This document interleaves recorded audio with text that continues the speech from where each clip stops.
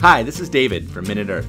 In early May of 2019, the Chicago sewer system ejected over a million gallons of a slurry of poop and toxic chemicals into the Chicago River and out into Lake Michigan. Needless to say, this wasn't great for the creatures that live in the lake or the people who live by the lake, aka the citizens of Chicago. And it wasn't an isolated incident. Even now, cities around the world periodically spew out ever larger rivers of, well, toxic poop water, a phenomenon that is not only gross, but that also pollutes water supplies, causes illnesses and infections, closes beaches, and kills off plants and animals. To understand why these sewage tsunamis are increasing, we have to understand what's causing them in the first place. Let's back up.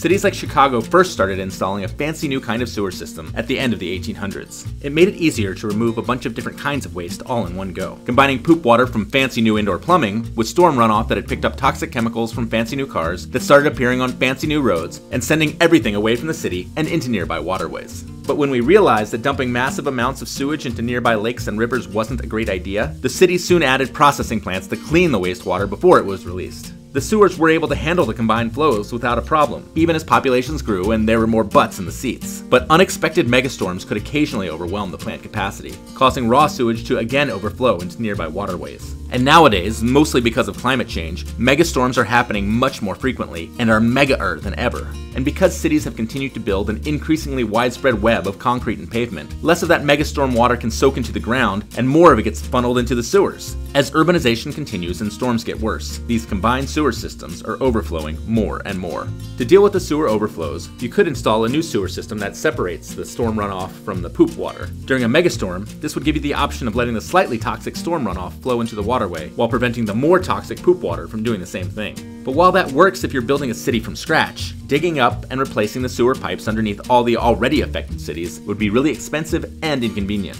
So many of the affected cities are trying to tackle the problem in other ways. Some are trying to divert megastorm runoff into nearby waterways before it gets combined with the poop water. Some are investing in parks and roof gardens in hopes of better soaking up those megastorm rains before they get to the sewers. And Chicago is digging a 10 billion gallon in case of poop emergency overflow tank. Combined sewers have helped cause this problem. Here's hoping these combined solutions can help head off the coming poopocalypse.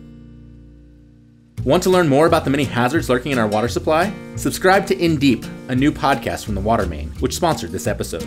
Each week, host Jed Kim dives headfirst into the mysterious networks that are supposed to keep our water clean and flowing. The ugly truth is that these complex systems are just as imperfect as the imperfect people who created them. In the first episode, Kim explains how we first learned about the connection between disease and sewage, and how we learned the hard way that we can't poop where we drink, or vice versa. Subscribe via Apple Podcasts or wherever you find your podcasts, and find out more at indeep.org.